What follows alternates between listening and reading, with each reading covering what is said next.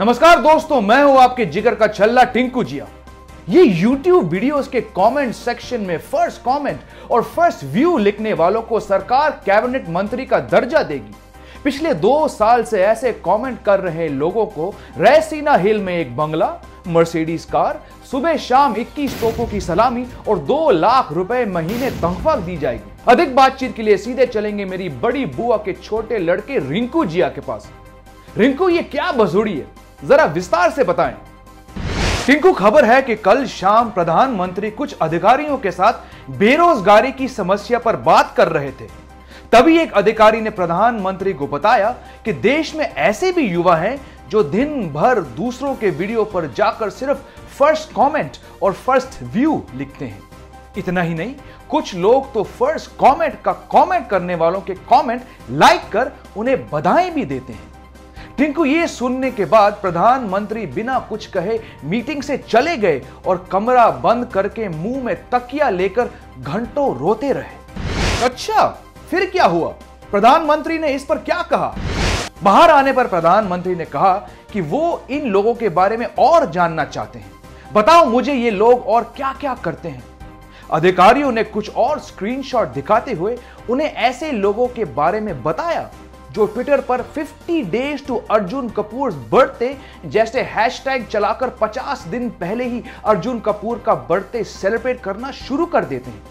इसके बाद प्रधानमंत्री को जब यह बताया गया कि फेसबुक पर संबित पात्रा फ़ैन क्लब नाम से एक पेज भी है और उसके पचास हज़ार लाइक हैं तो वो पूरे तरह टूट गए और ध्यान लगाने केदारनाथ की उसी गुफा में वापस चले गए।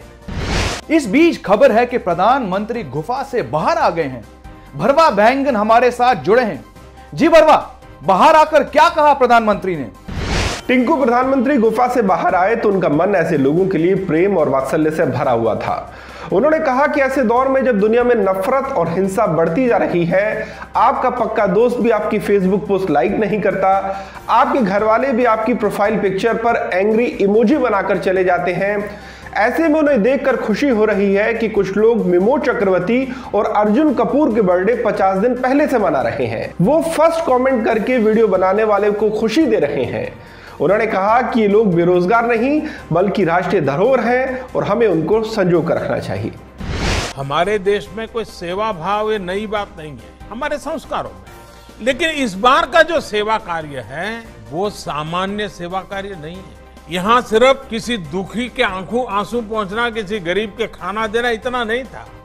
आपको बता दें कि इसके बाद प्रधानमंत्री ने ऐसे तमाम लोगों की जानकारी इकट्ठा कर उन्हें कैबिनेट मंत्री का दर्जा देने का फैसला कर लिया।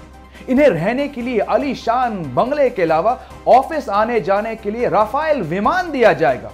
कमेंट लिखते वक्त नेटवर्क की दिक्कत ना हो जाए, इसके लिए इनके घर में ही मोबाइल टावर लगाया जाएगा।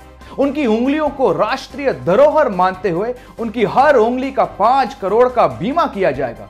उनकी उंगलियों की रक्षा के लिए, उन्हें मटर और मूंगफली छीलने के लिए अलग से एक आदमी दिया जाएगा। आपको भी अगर यह स्कीम पसंद आई हो तो आप भी वीडियो कमेंट करके ज़रूर बताएँ। क्या पता आपको भी कैबिनेट मंत्री का दर्जा मिल जाए। गुदगुदी हो रही है। हाँ? गुदगुदी हो रही है। आज?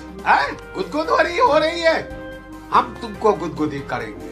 हम तुमको गुदगुदी करेंगे।